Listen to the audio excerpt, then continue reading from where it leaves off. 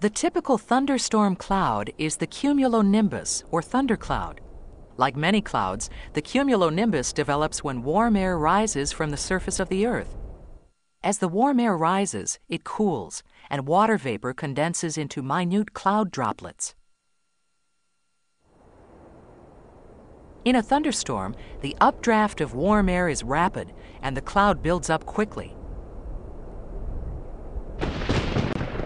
When the thundercloud has grown to maturity, water and ice droplets come together and precipitation begins.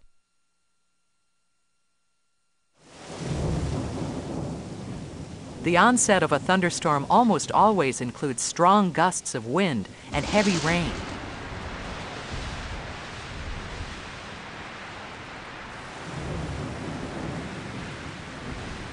But the most dangerous and spectacular of all thunderstorm features is lightning.